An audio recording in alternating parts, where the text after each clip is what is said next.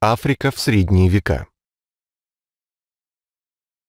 Африка в средние века развивалась очень неравномерно. Сама природа разделила этот континент на две неравные части. В северной части, прилегающей к Средиземному и Красному морям, с глубокой древности возникали очаги цивилизации.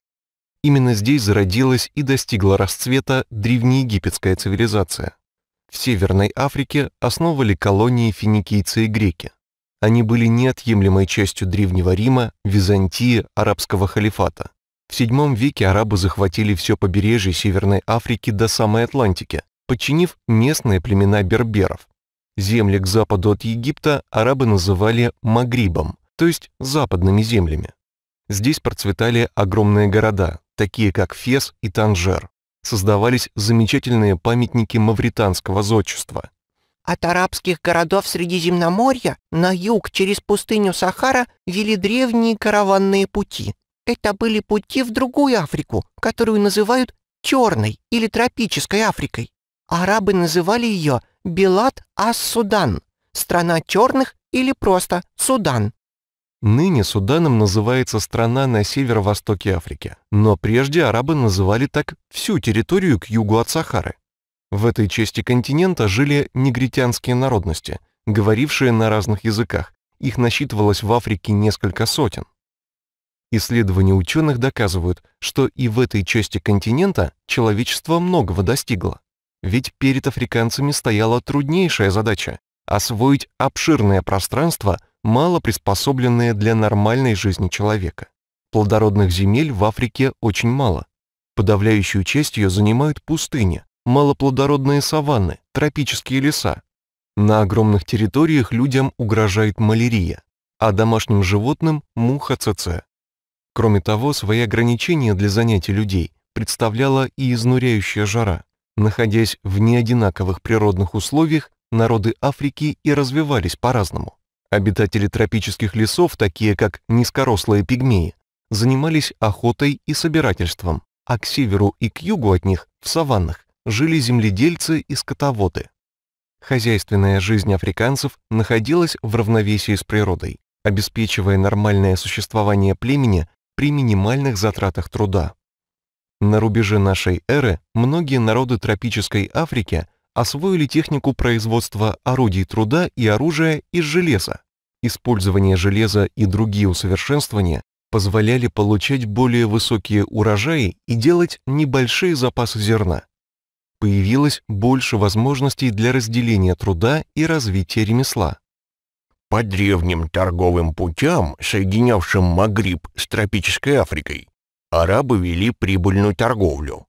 Особенно привлекал их изобиловавший золотом Западный Судан, земли, расположенные между Сахарой и Гвинейским заливом.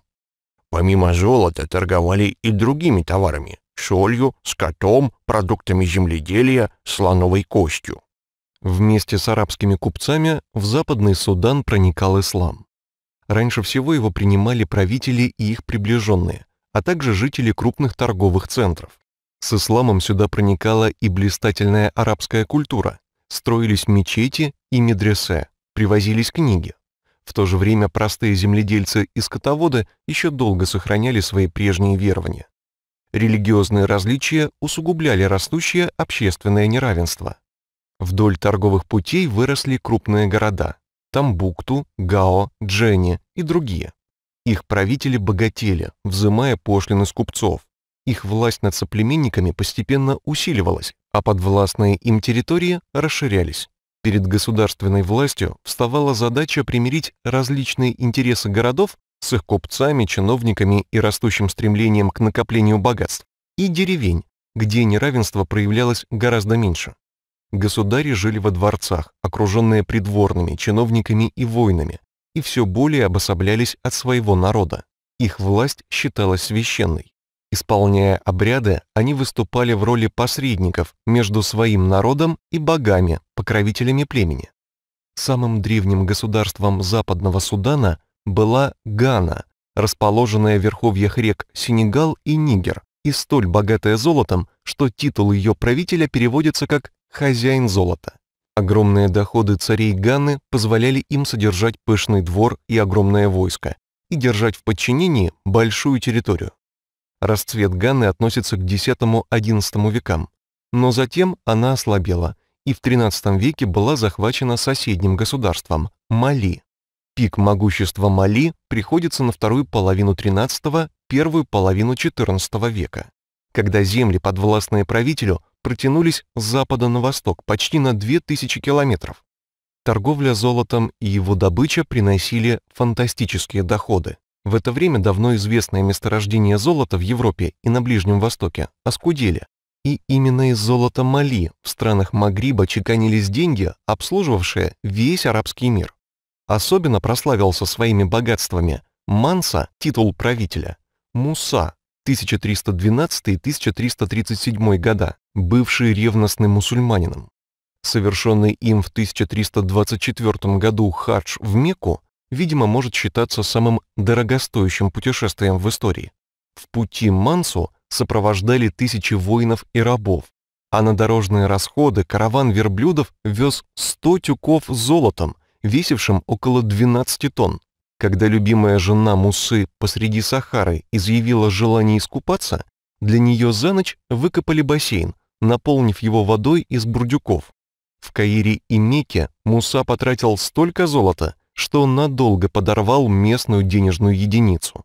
Зато Восток надолго сохранил память о богатстве и могуществе малийских владык, а связи Мали с другими странами ислама укрепились.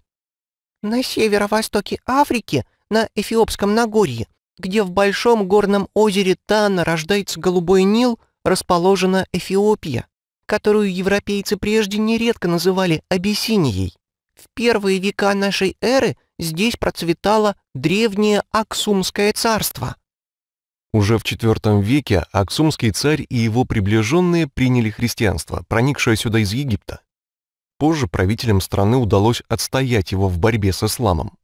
Однако само Аксумское царство распалось на отдельные княжества, которые вели между собой ожесточенную борьбу.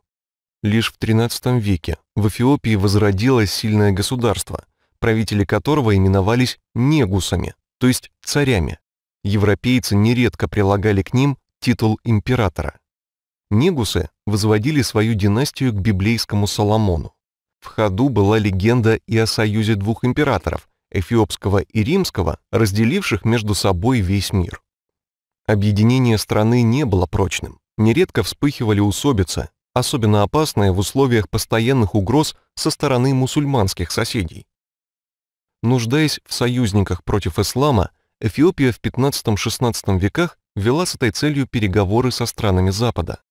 Ее делегация принимала участие в работе Феррара-Флорентийского собора, обсуждавшего вопрос о церковной унии между западным и восточным христианством. Эфиопское христианство довольно близко к православию, хотя, развиваясь в иных условиях, оно было своеобразным.